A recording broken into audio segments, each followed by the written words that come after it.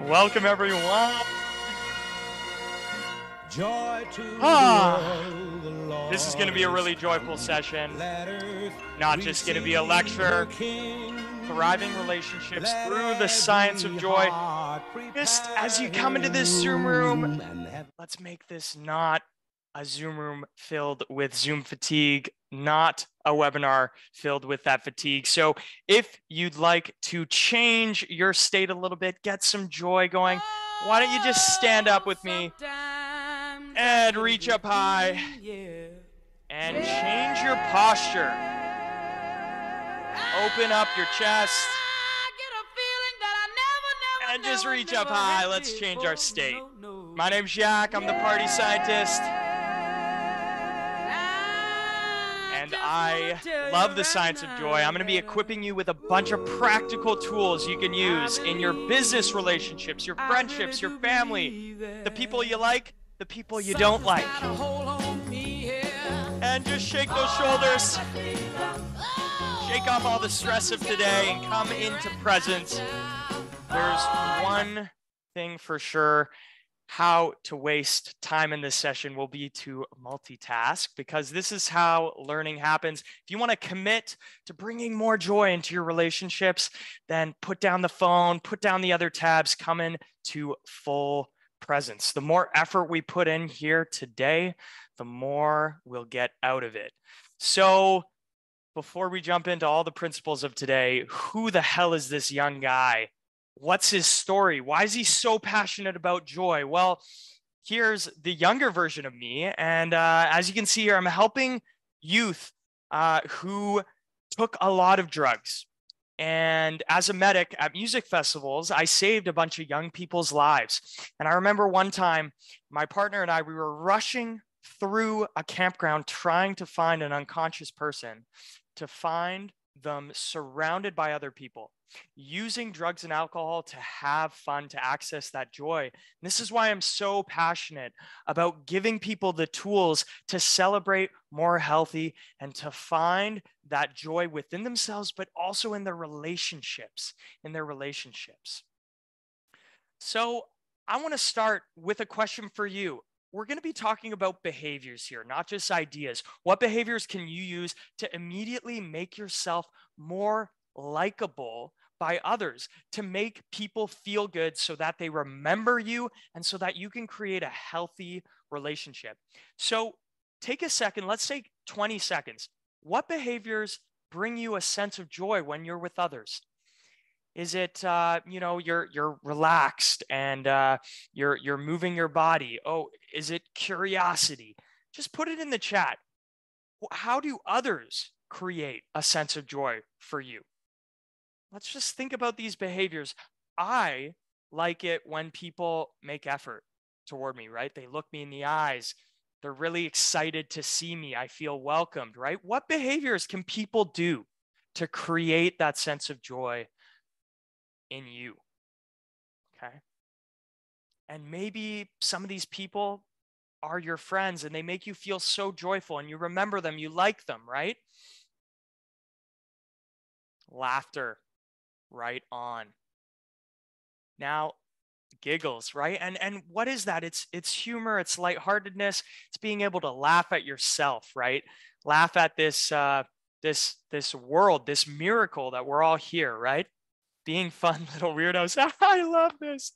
Yes, being lighthearted, right? Not not being too formal, right? Having a little bit of lightness.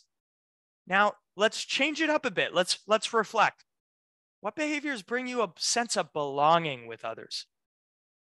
So, when you feel really close, when you feel really accepted, celebrated, what behaviors are happening when you're with others and you're feeling that belonging?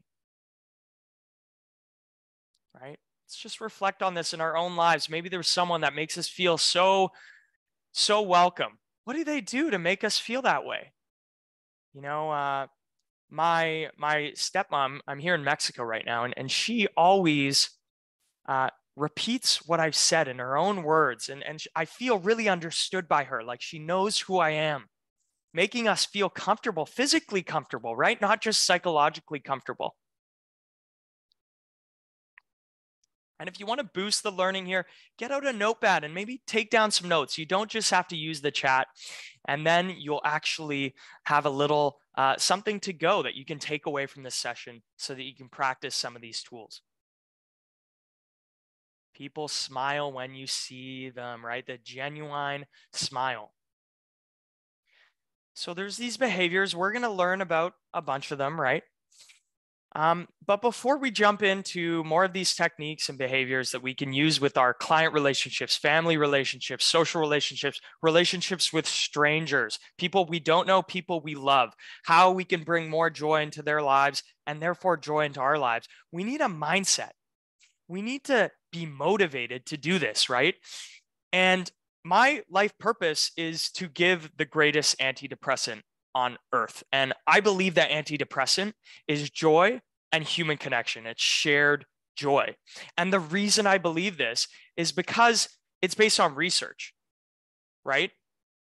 But before we get into the research, the, the really fun research, let's reflect on something different. Let's reflect on some of the happiest moments of our lives you don't have to put it in the chat, but you can if you'd like to be a little more vulnerable. What was a really happy moment in your life? Chances are you were alone because being alone is the best part of life. just kidding, just kidding. I'm not advocating for that. I've spent a lot of time alone and I'm going to share an experience spending time alone, but happiest moment of your life. I bet some money that it's probably with other people. You can climb the highest mountain, and if you're alone, it's less meaningful. It's less meaningful than if you're there with someone and you're sharing that experience, right? Happiest moment of your life. Let's see some of these responses. Great.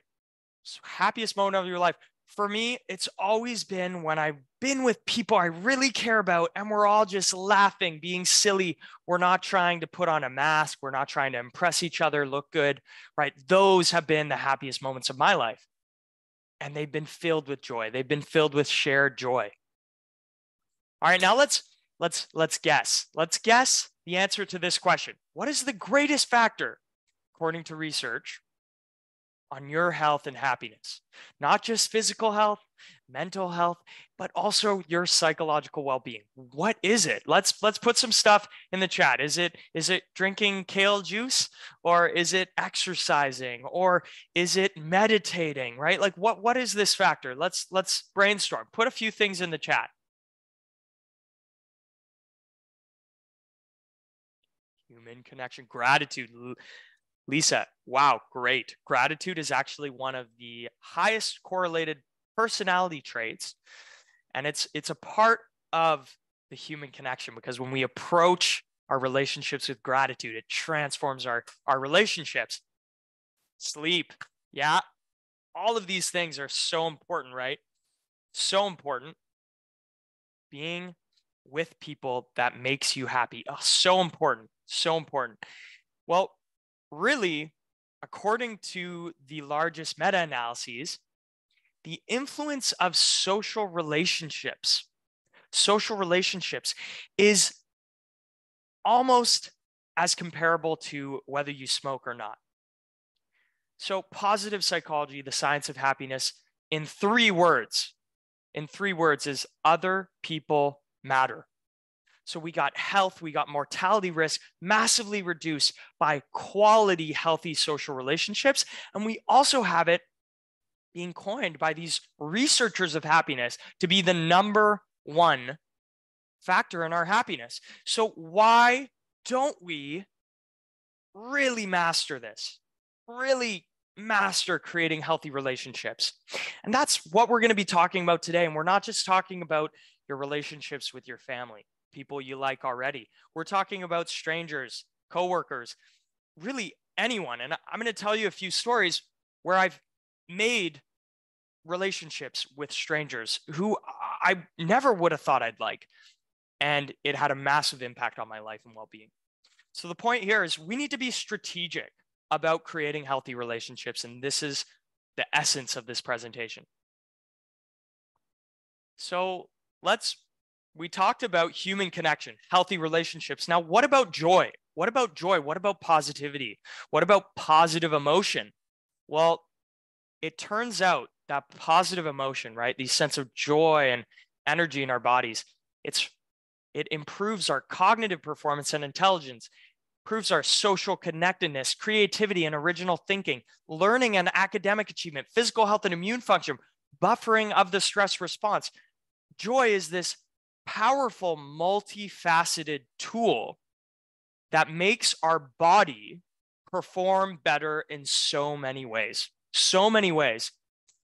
And so it makes sense to be more strategic about creating joy, right? Right? Right? Makes sense to be more strategic. And yeah, as you know, uh, Party Scientist loves his music because music interacts with the brain and it's a very close relationship. So, in, in three words, joy does three things it improves our physiology, right? It makes us more relaxed and, and ready to socialize. It improves our intelligence and it also can create psychological safety. When people are sharing joy with one another, they're sharing emotions, they're much more likely to feel accepted and celebrated. Hey, I can bring my whole self to this interaction, to this group. All right. So, if you really want to participate and take away as much as you can, I encourage you to get a notepad, get a notepad and uh, draw out this little grid, okay? We're going to fill this grid in together. We're going to talk about personal joy, interpersonal joy, and communal joy. There's three types of joy. And you know, when I was preparing this presentation, I was like, do I really just want to focus on research? It's not that relevant. Joy is a collection of neurotransmitters, but what's most important is that you walk away with tools to take into your social life, your professional life, and your romantic life. So if you really want to engage with this and take away as much as possible, write out this grid. We're going through the function, the techniques, and the memory. We're going to come up with some memories where we've demonstrated each element. All right. So I have a question for everybody. Who loves to be around really low energy people? Really exhausted, low energy people? Okay. Now, that's not how they are. They may just be that way in the moment. So they're not wholly low energy. But what I've reflected on in my life is my happiest moments in my life are when I'm around energizing, joyful, positive, excited people. Okay.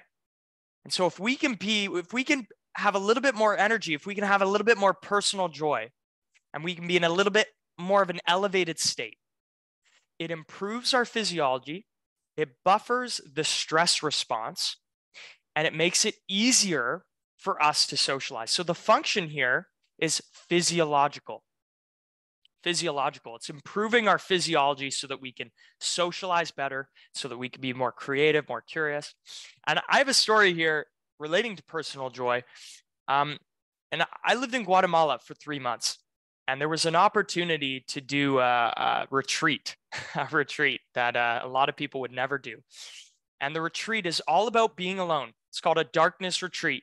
You sleep in darkness for a few days, and you're totally alone and you learn to be with yourself. You learn to access that joy from within. You learn to be peaceful without anyone around.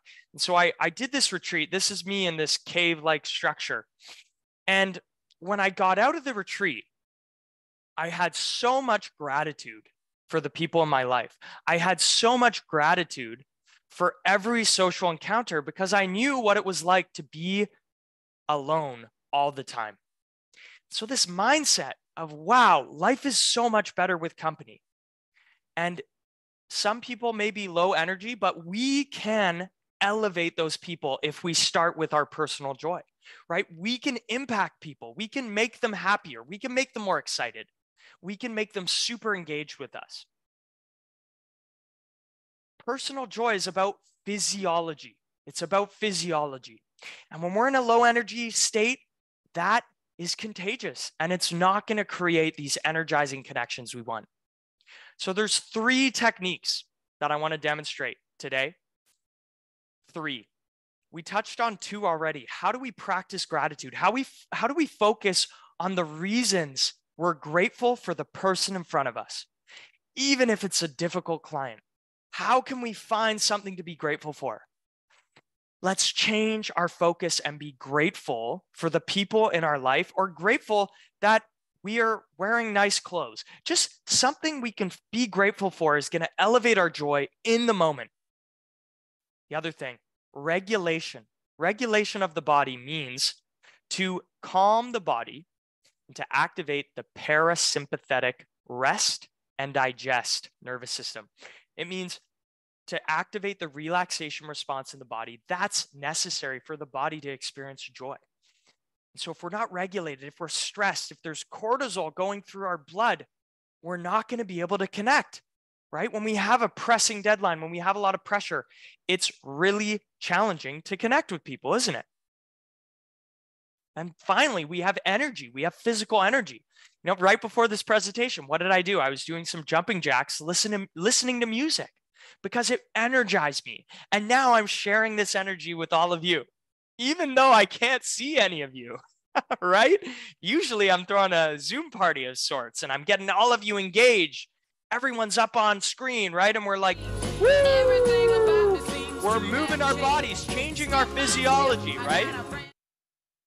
But I'm still having an impact on some of you, maybe maybe a negative impact on, on the others, right? We can't control it all changing our physical energy. When we change our physical energy, it's contagious and it impacts the people around us. Okay, it's about getting out of low energy, getting into high energy. Then we have attention, we have focus, we have more possibility for ex- being excited about the person in front of us. Okay, so those are three techniques regulate yourself, practice gratitude, and change your energy. And now we're going to actually practice one of these techniques. Okay. We're going to practice one of these techniques, but if you have your grid, make sure to write down in that grid these techniques and the function. Remember, the function is physiological. Now, we're going to do an exercise. And all I want you to do is just relax, close your eyes, and take a few deep breaths to regulate yourself the deepest breath of today. I challenge you to take the deepest breath of today. Close your eyes, relax your shoulders, relax your jaw.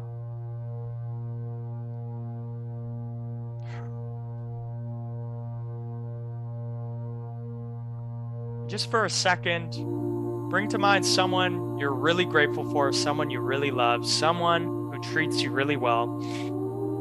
And just remember their face and see their face smiling in your mind.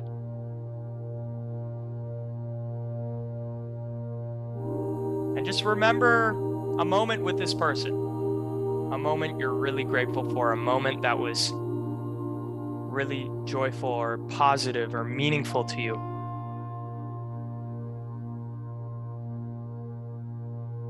Just take a deep breath into that moment. Remember that moment more clearly.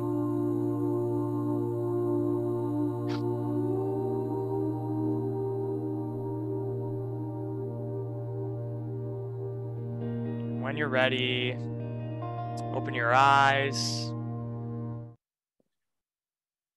That's the power of gratitude. We can change our state with gratitude so quickly.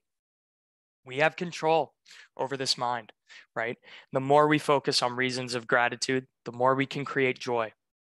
Why is joy important? Why is that personal joy important? Because it makes it easier for us to connect and create interpersonal joy. The function of interpersonal joy, the function of interpersonal joy is psychological safety. It's belonging. We can create so much belonging, so much psychological safety through interpersonal joy. We can also be remembered and likable. People will like us more. Okay. So, this is a week ago. I was in Las Vegas and I was partnering with Google the collaboratory at Google. I want to tell you the story of how this happened. So I uh, I met someone on LinkedIn and you know followed up with them a bunch, and eventually I had a meeting with them. I had a meeting with them, and and I'm just a random guy reaching out to this person who's who's a, a, an amazing event professional, And I reach out to them and I'm, I'm, you know, complimenting them. And I'm really excited about their work. They talk about neurodiversity. And they eventually were open to having a call with me and doing a podcast episode with me.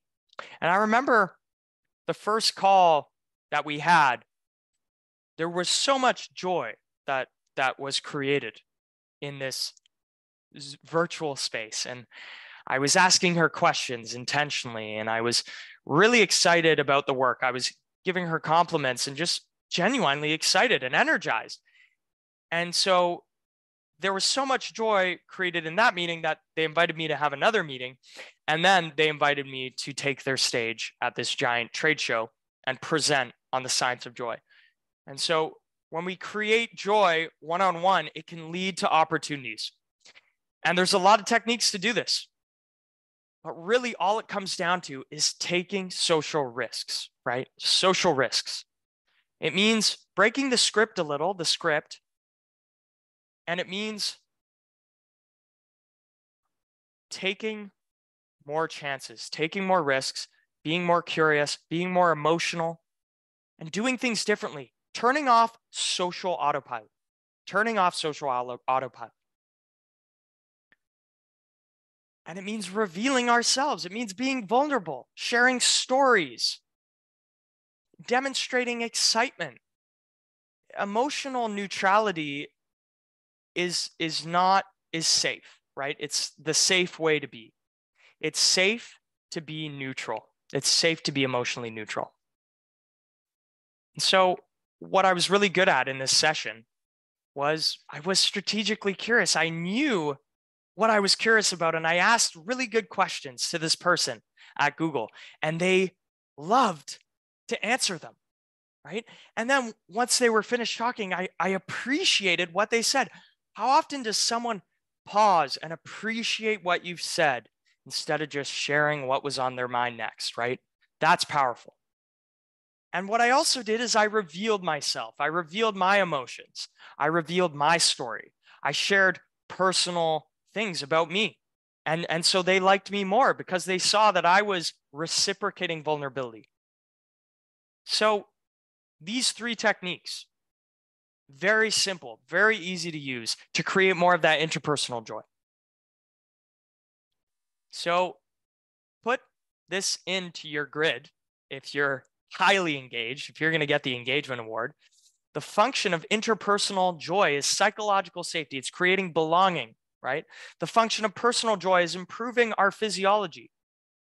We have the techniques, strategic curiosity, appreciative listening, revealing yourself and your emotions. And what we forgot to do is we forgot to put in a memory.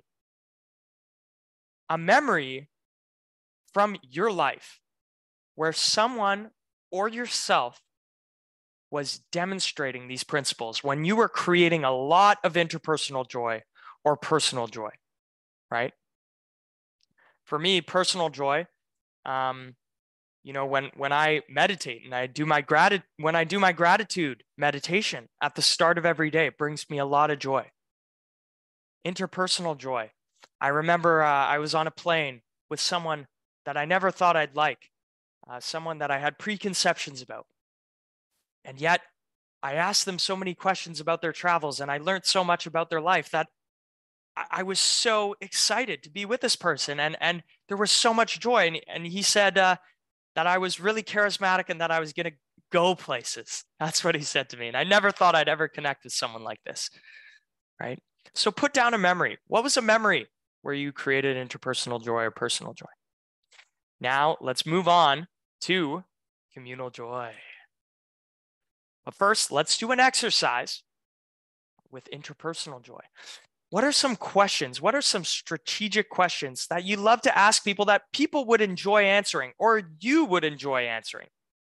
What are some questions that you can use to get to know people and to create joy? One of my favorite questions is What is something you're really proud of that you've accomplished? What is something really difficult that you did and and and were able to get through. Now, of course, we don't we want to we want to take baby steps. We don't want to ask really personal questions. You know, if you want to go a little bit more shallow, you can ask, what do you really enjoy doing when you're not working? What do you love about your job? Who, who, you know, what do you love about your kids? What do you love about your partner? Right? All these questions can induce joy, right? So we can just create some questions and be more intentional with our curiosity. Communal joy. What is the function of communal joy? Well, when we bring together people, it amplifies the joy even more.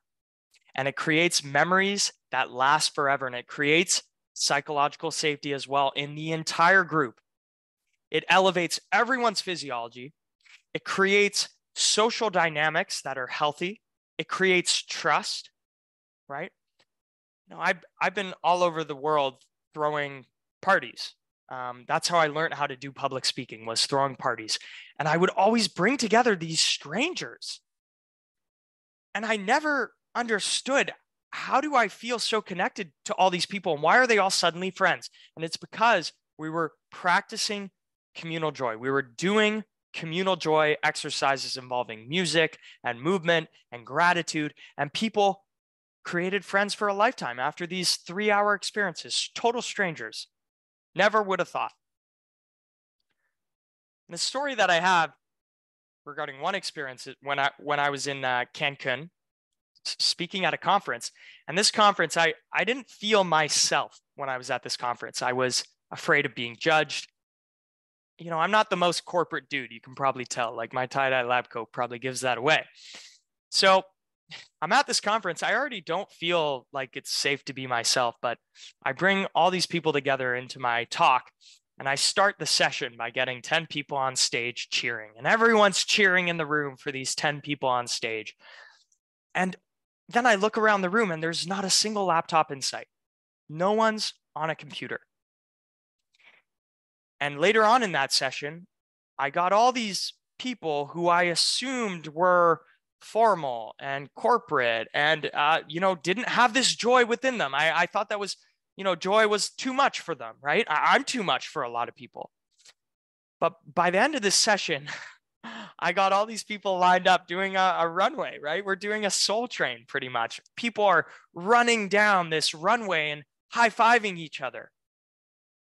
And this is what's possible when we facilitate when we we lead, we take the lead, we take charge, but from a place of generosity, from a place of wanting everyone to feel more connected, feel more joy, feel more productive, creative, right? These are the functions of communal joy. It's to create a functional social dynamic in a team or in a group and to create that social bonding in a group. Community building is the function of communal joy. And so in your teams, in your family dinners, in your just dinner parties with friends, communal joy can create powerful memories. And it can create closeness. That's not possible just through a, conversation, a factual conversation. So, our three principles for communal joy generous authority. Generous authority means taking charge from a place of generosity. It means giving people structure, but from a place of generosity. It doesn't mean you're intruding and forcing people to do things. It means, hey, let's all try something new and uh, let's try this game. Let's do this activity together. And this is why we're doing it. This is why we're doing it, giving people permission and reasons to participate. If you want to play charades at your dinner party, you know, super fun activity, super fun game then you got to give people reasons to participate, right? You know, if you want to if you want to have a toast, you want everyone at your event to to toast to something that's going well in their lives. Example of communal joy, everyone's focus doing this activity. Well, you got to give people the reasons to do that. The reasons to do that. You got to motivate them. You got to give them the right context. So if you have a team, if you're in a meeting if you're in a meeting that really sucks and you want to elevate the energy, elevate the creativity, the joy, then you got to you got to motivate people to participate, right? And finally, you know, we've been doing this the entire time. We've been using social technologies. Just let's let's pause the presentation. Everyone, please stand up and change your posture and just make a power pose. Elevate your energy.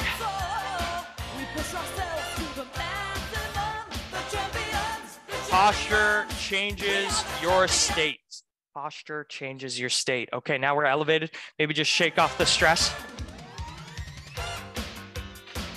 Pretty good song, eh? I know. It's a good one. It's from the Aerobic Championship. So, we got to use social technologies. We got to use social technologies. Here are some examples, okay?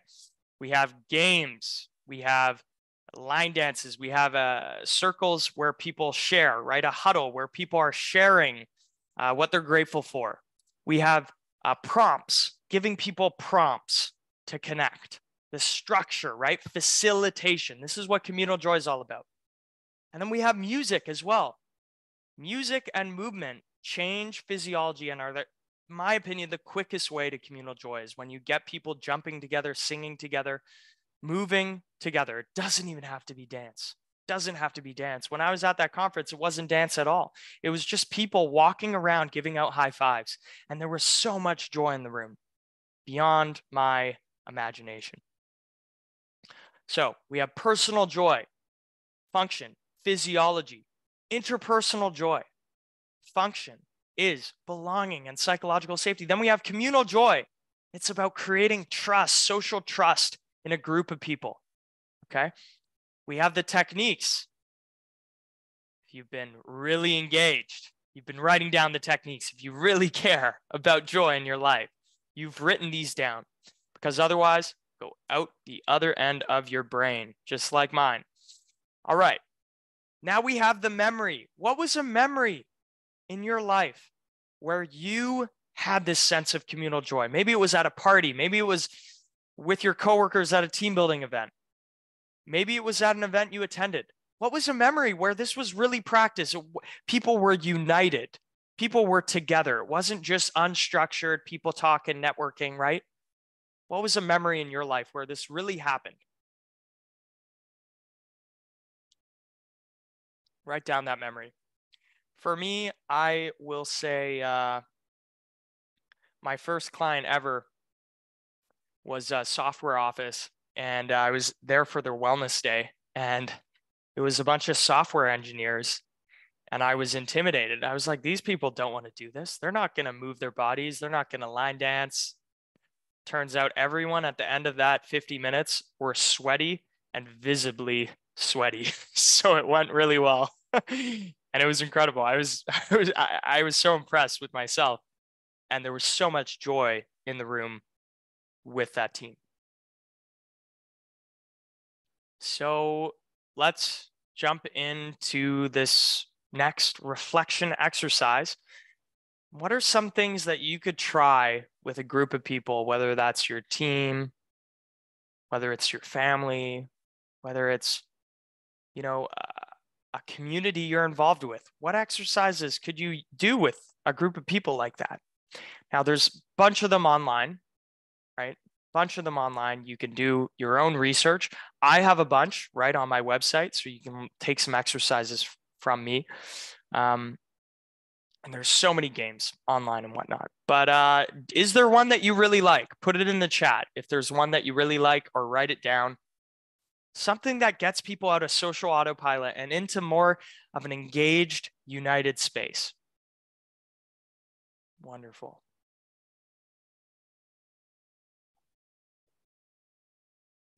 Uh, choir. I wish I got to join a choir. My friends are in choir, and there's there's so I've researched singing, and uh, singing uh, releases neurotransmitters associated with social bonding. So that that's choir is uh, social hacking, I would say. Scavenger hunts are wonderful, and it's really powerful when the, the group comes together and does something, uh, collaborates together, right? Ah, yeah, well said. We're not really strangers. Giving each other their prompts, getting the entire room engaged in a game like We're Not Really Strangers, which is a card game. Escape rooms, awesome. Yeah, especially, you know, when they're scary. okay. So we're going to spend some time reflecting on how our life would change if we suddenly practiced everything we sh- I shared today, right? And just to just to review what I've shared. I've shared nine principles, right? Regulating ourselves, practicing gratitude, changing your energy, right? All personal joy. Talked about strategic curiosity and those questions that people love to answer. Practicing appreciative listening. When someone's finished speaking, we share with them, wow, what did what did I really like about what this person said? We we respond constructively. And finally, revealing ourselves and our own emotions, right? I've revealed a lot to you today, right? I've revealed some embarrassing moments. I've revealed to you that I've, you know, meditated in the dark for a while. These are, this is me revealing myself to you, right? And then revealing our emotions too, right? Like, woo! Like not being afraid to be joyful ourselves and not being afraid to share our emotions and excitement with others. And we talked about communal joy. How do we create that in a group? Well, we need to be an authority, we need to take charge. Then we need to give people reasons to do it, right? And we need to give people reasons to do the right thing. And the right thing are social technologies, right? Like games, like movement and music, like uh, choir, right? Different activities where people are really united. They're not just doing things separately, but side by side, everyone's doing something together, right? That's communal joy. And on my website, I have a bunch of games that you can try. Now, how would your life change if you started practicing all this? Let's let's spend some time to reflect on this. And let's try to get motivated to actually do something differently. Right? Do you like being around people who just don't make effort to connect with you? Right? No, we like to be around people who are intentional, who apply effort. So let's get that motivation up. How would your life change if you suddenly practice everything I shared? So put it in the chat and I'm gonna I'm gonna join and put some in the chat as well. Um, and the first thing I have to say is I would have a, I mean, I I would have a more loving uh, relationship with my sister with my mom and, and I have my differences with my family, right? It's sometimes really hard for me to to practice these principles sometimes, right? But I would I would be so much happier in my my challenging relationships if I really took my own advice, practiced all these, and I, I do, but still working on it. Right? So what else would change in your life put something in the chat or write it down for yourself.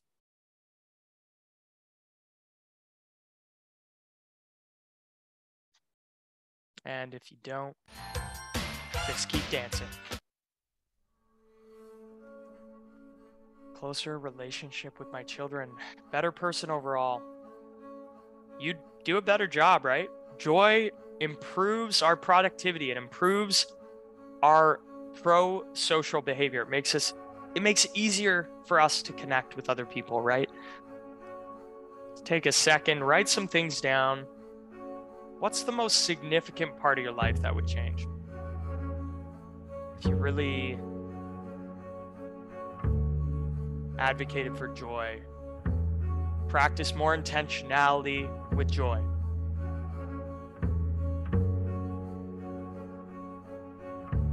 Less stress,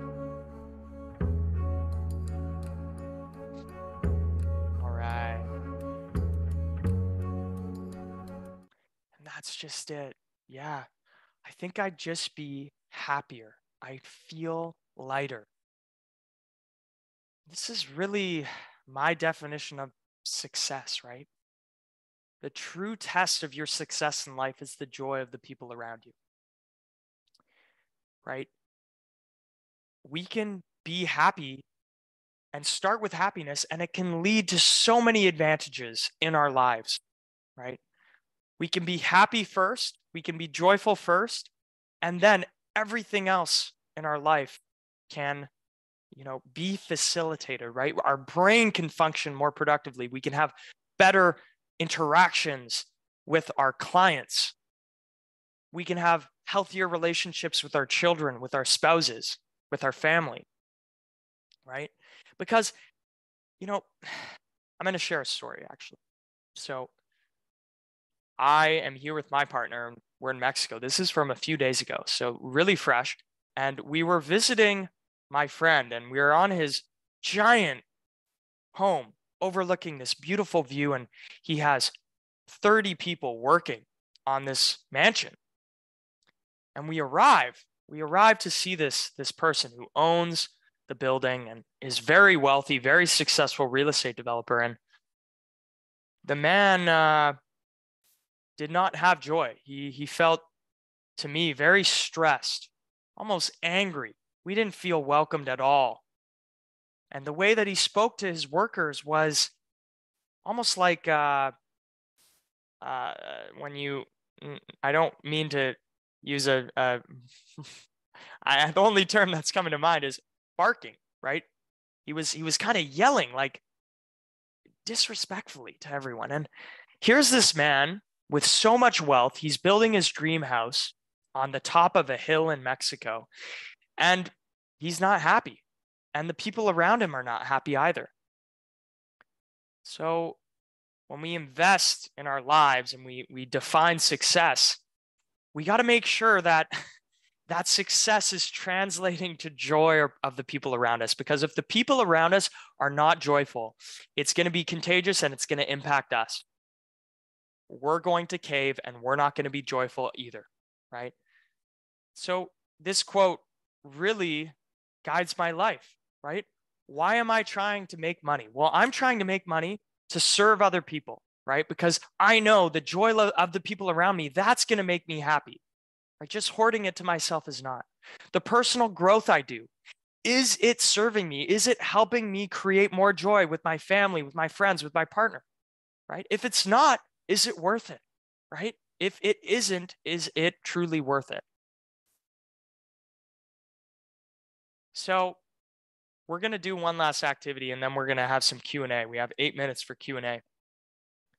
And if you don't want to do the activity, feel free to uh, stay online for 60 seconds and we're going to get some questions. Bianca's going to give us some questions. But the last thing that I want you to think of and add it to your grid, add it to your grid, is who in your life does really well role modeling everything we've learned in this session. Who in your life role models all of this? Just write that person's name down. And as you go through life, ask yourself, what would that person do right now? Just keep that in mind that this person, you use that person as a, a beacon of, you know, a, a, a compass for your behavior, for your joy. So put it in the chat, actually. Put it in the chat. Who is that beacon for you, this role model for you to practice these principles and actually change your relationships, change your happiness, change your health? For me, uh, I'm really lucky to say this, but it's it's my uh, it's my partner. My partner laughs much almost as often as I do, and I laugh a lot people don't really take me seriously sometimes until they hear me speak. then they take me seriously. so my partner for me is that role model who just can laugh off, you know, mistakes she makes. Just treading lightly, right? So keep that role model in mind. All right, everybody. To end this session, why don't we uh, change our posture for a second to some inspirational music? Reach up high and just give all the people on this webinar a round of applause, even though you can't see them. Give them a round of applause for showing up for the joy of the people in their life. And that the joy of the people in their life, that is one of the fastest routes to more joy in our lives. So reach up high, take a nice deep breath of gratitude for yourself for showing up and working on yourself. And I want to invite Bianca to join me and share any questions you might have. So if you have any questions, you can put it in the chat or put it in the Q&A and we can dive into some Q&A together. And also, the code word is MC. The code word is MC everybody. The That's code right. word's MC for the points.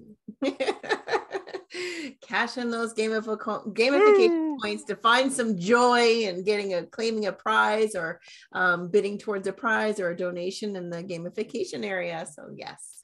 Oh, I feel so much more joyful. This was like, uh, you know, obviously I've had a lot of tech management behind the scenes today, and your session just really enlightened me, and I really appreciate it. Thank you. That was amazing. Woo! Bianca, thank you for demonstrating uh, interpersonal joy. Thanks for making me feel appreciated. Absolutely. I, I, I, by the way, everybody, I paid Bianca to do this, so this is just, uh, t- just, just an example. No, I'm just kidding. it was Bianca, either that or I had to be his backup dancer. So I don't know. I think I chose wisely. yeah.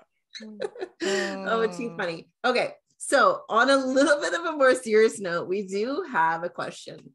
And Yeah. I'm sure this applies to, you know, numerous people in attendance today, but they would love some strategies on dealing with toxic family relationships that you don't want to quit on, but you Yeah. really need to find more joy in those relationships. Yeah.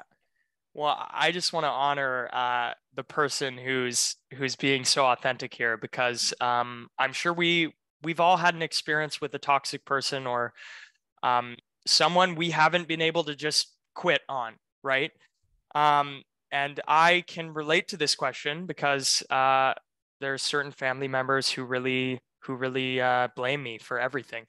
Um, and I, I think for me, I think for me, when I'm in the presence, uh, you know, obviously I, I distance myself, right? I um I make sure I, I have good energy and joy coming. I prepare for my interactions with uh, certain family members, with toxic people. I I prepare my physiology, right? I cultivate some personal joy, and then when I'm there in their presence, I'm I'm very aware of my nervous system and my body, and I'm I'm constantly re-regulating myself. And so if I get if I get pushed, if something is said to me that really alarms my body, I'll regulate myself again. And I'll I'll I'll be constantly checking in with my shoulders. If my shoulders are up, pardon me, if my shoulders are up high, I'll move them down and I'll take some deep breaths, right? Um, and by the way, anyone else chime in in the group chat if you if you have some strategies for this. Um, the other thing is uh, now some people some people are not going to reciprocate, right? They're not going to reciprocate vulnerability. Um, they're not going to reciprocate excitement and joy. Other people are going to be impacted by us, right? When we when we approach them with joy, they're going to be impacted. They're going to open up and they're going to be friendlier with us. They're going to be more psychologically safe with us, right? Mhm. The people who don't, right, who don't get impacted by us, and it seems like we're just running against a, a concrete wall. Um, in those moments, uh, yeah, sometimes we need to we need to notice that, and we need to direct our focus to someone who's going to be who's going to reciprocate a little bit more, right? Because the energy from human connection comes from um, shared joy, shared energy.